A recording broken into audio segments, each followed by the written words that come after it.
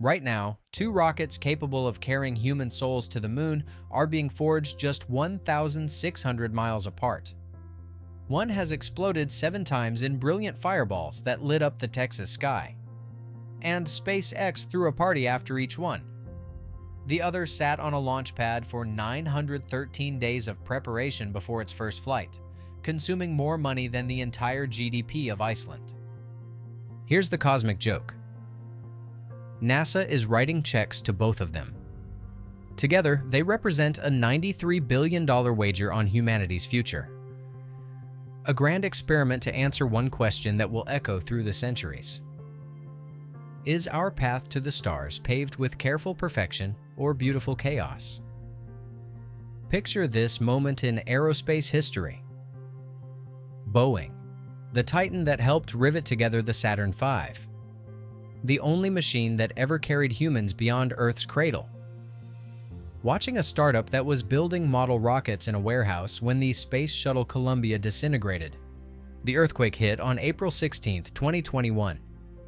NASA looked at proposals from the aerospace establishment. Boeing's national team, backed by Lockheed Martin, Northrop Grumman, and Draper, then handed $2.89 billion to SpaceX for the human landing system. The decision sent shockwaves through mahogany boardrooms across the aerospace industry.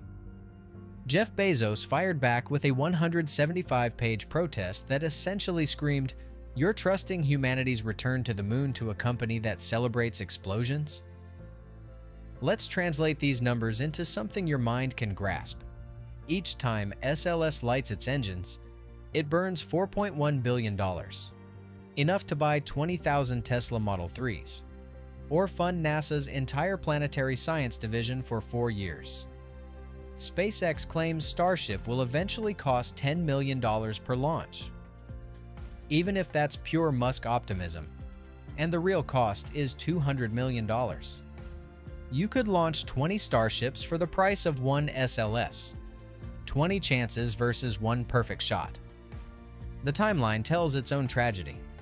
SLS was born in September 2011, promising to fly by 2016. It finally escaped Earth's gravity in November 2022, six years late, and $10 billion over budget. During those same 11 years, SpaceX went from sketches labeled BFR to watching 15 Starship prototypes attempt flight. Some soared, some exploded, all taught lessons worth billions. The irony cuts deep. Boeing helped build the rocket that proved humanity could touch another world.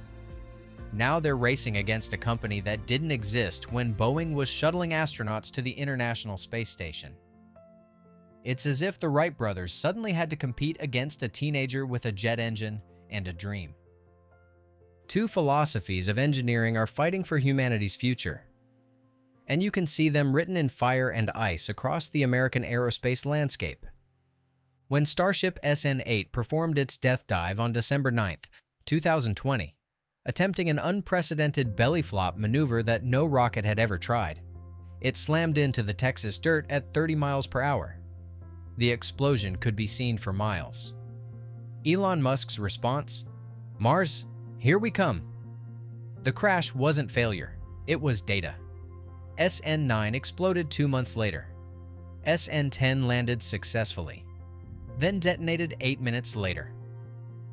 SN-11 became confetti midair. Each fireball taught SpaceX something that would have cost millions in traditional wind tunnel testing and computer simulations. Contrast this with the Cathedral of Caution at Stennis Space Center, when Boeing fired up SLS's four RS-25 engines for the critical green run test in January 2021, the engines shut down after just 67 seconds, barely a heartbeat in the 8 minutes they were supposed to run. That single stumble triggered an 11-month delay. A hydrogen leak, invisible to the eye, deadly to a mission. During the September 2022 launch attempt meant another month of waiting. Each day, SLS sits on the pad bleeds approximately $1 million from taxpayer coffers. Here's the material truth that changes everything. SpaceX builds rockets out of 304L stainless steel, the same alloy in your kitchen sink. It costs $3 per kilogram and can be welded in a tent in the Texas desert. Boeing crafts SLS from aluminum lithium alloy at $200 per kilogram, requiring clean rooms where a single speck of dust could doom a mission. SpaceX can birth a Starship prototype in weeks. An SLS core stage gestates for years in climate-controlled perfection. The price of caution is written in billions. By the time SLS finally kissed the edge of space, NASA had invested $23 billion in development alone. Adjust the entire Mercury, Gemini, and Apollo programs for inflation, all of them, including the 12 men who walked on the moon, and you get $25.8 billion. We spent almost as much to fly one empty rocket around the moon as we did to win the entire space race. Here's where the story becomes a masterclass in political physics. Your money is literally fighting itself in space. Boeing operates in the comfortable embrace of cost-plus contracts. When SLS hemorrhages money, Boeing doesn't bleed, they bill. Their fee structure actually rewards overruns up to a certain percentage. It's like hiring a contractor who gets a bonus when your kitchen renovation goes over budget. SpaceX signed a fixed-price contract. Every dollar over $2.89 billion is extracted from Elon Musk's ambitions, not your paycheck. The geography of graft is breathtaking. Congress mandated that SLS use Space Shuttle-era contractors spread across Alabama, Louisiana, Utah, Florida. A constellation of jobs in 45 states. Senator Richard Shelby of Alabama, wielding the Appropriations Committee like a budgetary sword, carved into law that NASA must spend at least $2 billion annually on SLS through 2028. It doesn't matter if Starship starts ferrying tourists to Mars. The money flows to SLS by congressional decree. Critics have renamed it the Senate Launch System. Watch how vertical integration battles political integration. SpaceX forges 85% of Starship in-house at Boca Chica, where welders and engineers work side by side. Boeing orchestrates a symphony of 1,000 subcontractors across 45 states. This isn't inefficiency. It's political armor try to kill SLS, and you're not attacking a rocket. You're attacking jobs in nearly every state in the Union. The congressional testimony that should haunt your dreams. NASA Inspector General Paul Martin stood before Congress in November 2021 and stated NASA has spent approximately $40 billion on SLS, Orion, and ground systems.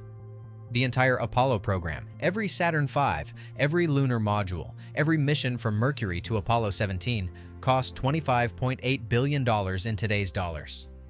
We're spending 60% more to return to the moon than we spent to get there the first time. The beautiful absurdity. NASA is legally required to fund its own competition. They must pour $2 billion annually into SLS while simultaneously paying SpaceX to make it obsolete. It's as if the government hired both Edison and Tesla, gave them both unlimited funding, and said, figure out electricity, and try not to electrocute each other. Here's the plot twist that would make Shakespeare weep. These sworn enemies need each other to touch the moon. The Artemis 3 mission architecture reads like a peace treaty written in rocket fuel.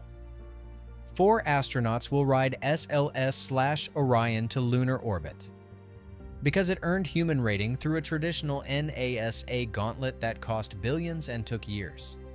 But Orion can't land on the moon. It's essentially a taxi to nowhere. So these brave souls will float across the void and board a waiting starship HLS, their actual ticket to the lunar surface. Why this Frankenstein's monster of a mission? Because Starship can deliver 100 metric tons to the lunar surface, while Orion can barely land itself without running out of fuel. The dependency runs deeper than metal and math. Starship's lunar ambitions require an orbital refueling ballet never attempted at this scale, between 8 and 16 tanker flights, each one a potential point of failure. Imagine trying to refuel your car while both you and the gas station are falling around Earth at 17,500 miles per hour. SLS avoids this complexity with brute force. One launch, straight shot. But can only support a crew for 21 days before life support runs out. The 2024 revelation that nobody saw coming. Boeing, in procurement documents that barely made headlines, began exploring using Starship, their competitor's rocket, to launch deep space habitat modules. It's like Ford asking Tesla to deliver their engines. The admission was buried in technical jargon, but the message was clear. Even Boeing can't ignore Starship's economics. Jim Free, NASA's associate administrator, crystallized this strange symbiosis in February 2024. We're not picking winners and losers. We're building an ecosystem where government reliability and commercial innovation reinforce each other. Translation We need Boeing's methodical perfectionism to keep astronauts alive, and SpaceX's magnificent chaos to make space affordable. The cosmic irony is perfect. Boeing builds the limousine that takes you to the spaceport. SpaceX builds the rocket that takes you to the future. And somehow, impossibly, they need each other to get humanity to the moon. What started as a traditional government contract has metamorphosed into humanity's greatest experiment in competitive evolution. Not biological, but technological. The race between SpaceX and Boeing has transformed from a sprint into a three-legged race where both runners are tied together, stumbling toward the stars. The numbers tell a story of inspired redundancy. NASA's $93 billion dual-track approach might be accidental genius. If Starship's orbital refueling proves impossible, if those 16 tanker flights become an orbital traffic jam, Artemis continues with SLS alone, limited but breathing. If SLS faces another hydrogen leak that triggers a two-year stand-down, Starship could theoretically carry crew by 2026. This isn't waste masquerading as progress. It's insurance for the species. History is rhyming in rocket fuel. In 1961, America simultaneously pursued three different paths to the moon, direct ascent, a massive rocket straight to the lunar surface, Earth Orbit Rendezvous, assembly in Earth orbit, and Lunar Orbit Rendezvous, the eventual winner. The riskiest option, having the lunar lander meet the command module in orbit around the moon, seemed insane until it became the only way. Today's dual approach might birth similar revelations. Consider the cosmic perspective. In the time you've watched this video, Earth has carried you 1,100 miles through space. The moon has drifted 126 feet farther away from Earth. It's been slowly escaping since the day it formed. We're in a race not just with ourselves, but with celestial mechanics. Every year we delay, our nearest neighbor drifts a little farther into the dark. In the end, the moon doesn't care if you arrived on a rocket that never failed, or one that failed magnificently before succeeding. The regolith will accept your bootprint either way.